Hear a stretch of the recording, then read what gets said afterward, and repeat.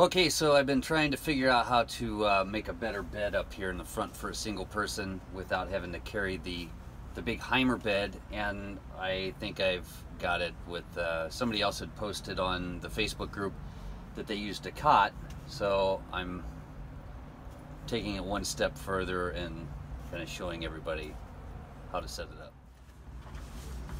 Basically, we have to swivel the two seats up here. Next, take my slightly modified camping cot, set it right there. Next, take just the long board here.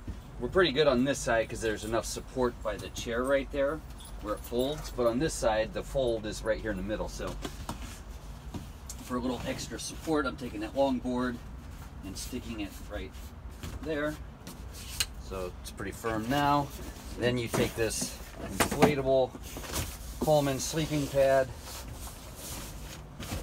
and put that right there. And now you have a bed that's good for a single person and it doesn't take up a ton of room like, like the other Hymer one. And then you can just sit down right like this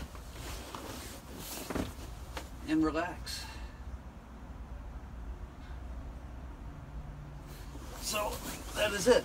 And it comes apart just as easily and it folds up smaller. So you just pull that off, slide out your little wooden piece, lift this up and don't pinch your fingers.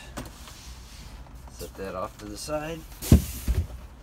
Spin that back around. Spin that around. Sit down. Buckle up. And you're ready to go to your next place.